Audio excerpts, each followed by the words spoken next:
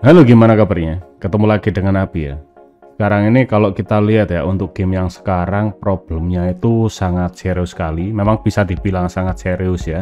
Tapi sebelum itu kita flashback dulu ya untuk kronologinya biar jelas apa yang ada di dalam video ini. Kalau misalkan mungkin Abi ya atau mungkin juga teman-teman sendiri waktu zaman dahulu kita itu kalau berjalan ke mall ataupun juga ke toko-toko game terdekat ya kita itu membeli game yang kita sukai. Nggak tahu itu cut over 1 cut over 2 cut over 3 ya.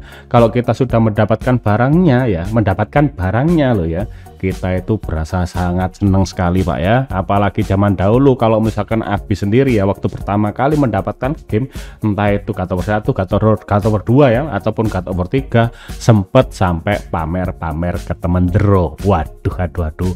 Apalagi waktu itu kalau misalkan jalan Pak ya setelah memegang kasetnya bro ya fisiknya serasa senyum-senyum sendiri kayak orang yang begini Pak ya. Dan juga orang yang di samping-samping langsung ngeliat bocil ini nggak apa-apa apa enggak ya? Gile lundro ya. Dan kemudian kalau misalkan kita itu bosen ya kalau misalkan kita bosen dengan gamenya kita itu bisa menyimpan nanti sewaktu-waktu kita bisa memainkan kembali kalau kepengen nostalgia. Ataupun juga di lem biru kali ya lem biru lempar beli yang baru. Ya kurang lebih sih seperti itu ya untuk cerita dari kronologinya Sekarang kita balik ke topik utamanya ya yang seperti ada di judul problem utama di dalam game zaman sekarang ya ataupun juga zaman no kita sudah memulai membeli game melalui store-store online ya. Entah itu di PS Store terus kemudian di Nintendo eShop ataupun juga di yang lain-lainnya. Memang ada enak dan juga tidak enaknya ya kalau misalkan kita itu membeli online kalau ada diskon langsung disikat ya. Apalagi diskonan yang sekarang-sekarang itu biasanya diskonnya sangat tinggi banget. Bisa sampai 80 sampai 90 persen ya. Meskipun enggak apa ya enggak tua-tua amat ataupun juga enggak lama-lama banget untuk gamenya. Tidak seperti toko yang terdekat kalau misalkan untuk mereka ya kalau misalkan mereka menjual ataupun juga membeli game waktu pertama kali itu anggapannya adalah 800.000 ya. Kalau misalkan di online sudah ada diskonan yang sangat besar-besaran terutama dari developernya untuk di terdekat kita ya toko terdekat itu biasanya masih harganya tetap segitu aja Andro ya. Ya ya itulah untuk enaknya ya. Untuk enaknya kalau untuk digital ya memang ada diskonnya. Kalau misalkan kita membeli di toko-toko terdekat ya ataupun juga di toko-toko besar di daerah kalian lah ya kita itu bisa mempunyai fisiknya. Itu yang tak rasakan dulu Andro ya. Soalnya memang kayak gitu harganya kalau di toko terdekat nggak pernah turun segitu-segitu aja. Ya mungkin memang mereka nggak mau rugi ya. Oke, kalau misalkan zaman sekarang ya untuk pembuat game yang sekarang itu males membuat fisik ya hanya menyediakan digital saja. Karena yang jadi masalah kalau misalkan ada bangkrutnya ya atau toko onlinenya tutup game kita itu akan hilang. Bener nggak? Ya bener lah ya. Sepertinya akhir-akhir ini itu sudah sering dibicarakan ya soal Nintendo eShop Classic itu bakalan di shutdown kalau nggak salah di bulan Maret ya Maret tahun depan kalau nggak salah. Atau mungkin juga sudah di down soalnya Abi nggak begitu mengikuti kalau untuk di Nintendo yang klasik-klasik itu hanya di Switch saja. Banyak sekali outplayer atau pemain-pemain lawas itu yang komplain dengan keputusan Nintendo. Tapi bisa kalian lihat ya Nintendo itu seperti apa. Biasanya itu tidak pernah dan juga tidak mau dikasih saran ataupun juga kritikan dari para user dan juga gamernya. Apalagi gamer game-gamer yang setia pak. Biasanya tutup mata tutup telinga draw gile lu. Akhirnya banyak sekali gamer-gamer Nintendo itu menyesal kalau misalkan membeli dengan digital apa digital edition draw ya. Terus kejadian yang lain di Sony ya di Sony terutama di PS3 dan juga PS Vita itu sempat mau di shutdown juga. Cuman gara-gara apa ya cuman gara-gara dari kritikan terus kemudian dari pokoknya intinya adalah kata-kata dan juga kritikan pedas ke Sony. Akhirnya PS Vita Store dan juga PlayStation 3 itu diundur ya untuk masa berlakunya. Akhirnya tidak jadi di shutdown Mungkin saja ini ya kalau misalkan tebakannya Abi itu hanya memperpanjang saja umurnya supaya para fans tidak pergi dan juga tidak marah. Jadi kita itu masih belum tahu pasti ya kapan untuk PS Vita dan juga untuk PS3 itu bakalan bisa down sama si Sony.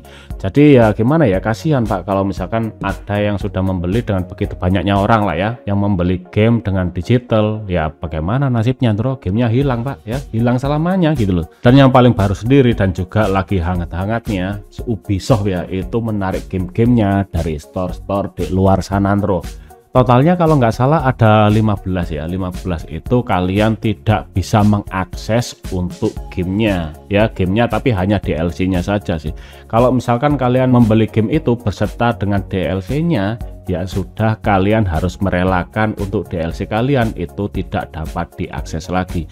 Kalian hanya bisa memainkan game yang single player yang bawaannya ya bukan DLC nya bro padahal seharusnya kalau misalkan zaman dahulu ya DLC itu sudah termasuk di dalam game. Itu satu bungkus pak. Kalau sekarang itu berkesan mereka itu sekarang lebih serakah daripada yang di sebelum-sebelumnya untuk developernya bro ya. Apalagi yang sekarang itu kayak berasa masih bentuk alpha masih belum final lah ya itu sudah dirilis. Nanti kalau misalnya sudah rilis nanti langsung patch-patchnya dikeluarkan terus. Jadi kita itu berasa bagaimana ya sudah membeli game dengan ukuran yang sangat gede anggapannya 70 GB ya. Terus ada updatean lagi langsung biasanya 70 70 giga. Ada game yang seperti itu. Contohnya kalau nggak salah itu Call of Duty pak. Ada. Kalau nggak salah waktu pertama kali rilis digital ya itu 70 giga atau 60 giga. Waktu untuk updatean patchnya yang pertama itu ukurannya hampir sama Android gila ya. Beda dengan game yang dulu. Game yang dulu sudah dapat fisik ya. Terus kemudian untuk gamenya ya sudah. Gamenya ya itu aja gitu loh. Nggak ada patch dan juga yang lain-lain waktu itu. Terutama di PS1 dan juga di PS2 Pak ya. Dan kita balik ke topiknya lagi. Untuk Ubisoft sekarang ini benar-benar menyatakan kalau tidak akan bisa mengakses kalian ya. Itu tidak bisa mengakses untuk DLC-nya padahal DLC yang sekarang itu ada yang bagus ya yang keren itu. Tapi gara-gara bagaimana ya? Gara-gara memang sudah keputusannya Ubisoft ya sudah kita harus merelakan saja. Jadi untuk kalian yang membeli game Ubisoft entah itu di Steam ya terus ataupun juga di shop-shop yang lain uang kalian hilang game kalian juga hilang bro. Inilah yang paling ngeri ya di dalam game-game zaman now ya. Apalagi untuk developer dan juga publisher game itu seharusnya memberikan konsumen itu dua pilihan antara digital edition ya digital version atau di fisik version. Supaya kita bisa membeli game yang kita beli ya kita bisa memilih fisik ataupun juga digital. Kalau misalkan digital kita sudah mempunyai fisik dan berasa sudah bisa memiliki ya. Kalau misalkan bosan kita simpen. Kalau misalkan kepengen nostalgia kita mainkan lagi. Kadang ya lucu aja ya kalau misalkan kita membeli game dengan digital ya terus kemudian hilang sewaktu-waktu kita itu berasa kayak semacam ngerental doang Pak ya. Kita ngerental entah, entah kita ngerental mobil ataupun juga ngerental buku dan yang lain-lain itu ada kadaluarsanya. Nanti sewaktu-waktu kalau misalkan masa berlakunya itu sudah habis ya sudah hilang terus ya. Kita tidak memiliki apa-apa. Padahal kita sudah mengeluarkan uang full ya untuk membeli game itu terus aduh Mungkin ada yang tidak setuju dengan yang Abi katakan ini ya. Kalau misalkan kejadiannya memang seperti ini, terus kita ingin memainkan gamenya dan ternyata itu sudah di shutdown dan juga tidak bisa diakses untuk gamenya. Jadi jangan disalahkan kalau misalkan memainkan game-game versi Tanindro ya.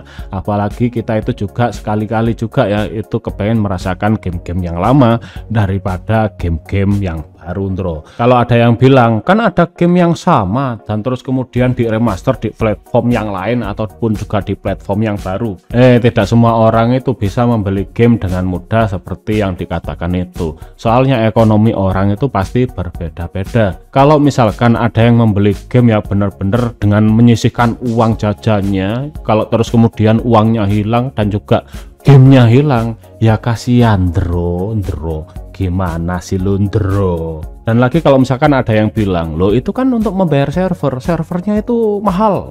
Terus kemudian yang lain-lain lah. Intinya menyebabkan game ataupun juga tokonya di shutdown. Ingat ya untuk game zaman sekarang ya, terutama game yang berkelas triple E itu untungnya sangat besar sekali Pak. Triliunan biasanya di satu game. Ada yang lebih parah lagi ya, dalam satu game itu malah lebih 3 4 kali sampai 6 kali lipat untungnya dari triple E yang biasa meskipun itu perusahaan besar. Contohnya adalah EA ya. Itu sangat besar sekali pendapatannya di microtransaction.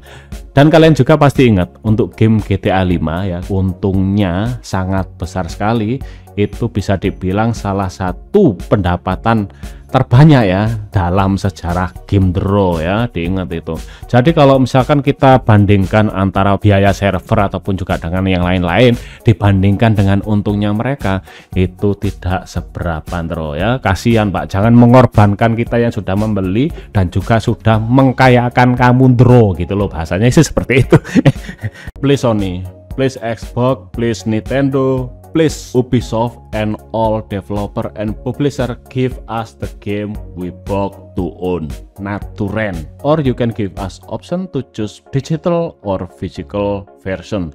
Sorry my bad English draw bener gak sih? Sumpah hancur amat bahasa Inggrisku draw ya ya semoga aja ada developer ataupun juga developer yang lewat ya supaya bisa mikir-mikir. Semoga saja. Siapa tahu kalau ada yang mampir atau lewat ke sini terus ngelihat videonya habis sampai selesai ya. Ya pokoknya semoga saja semuanya itu ada solusinya Pak ya. Bagaimana cara mengatasi untuk game digital sekarang yang seenak-enaknya di shutdown ini namanya perampasan bro. Itu namanya ruampok gile lu bagaimana menurut kalian sendiri tentang game ya yang sewaktu-waktu bisa hilang kalau misalkan kalian mempurchase digital version? Bisa isi kolom komentar di bawah karena AB itu penasaran dengan pendapat kalian juga ya. Untuk kalian yang suka untuk berita game ya terus kemudian tutorial terus kemudian berita game terbaru dan juga updatean game yang terbaru pokok jangan lupa di like ya dan juga di subscribe karena banyak sekali informasi-informasi seperti ini. Sampai ketemu di video selanjutnya. Yuk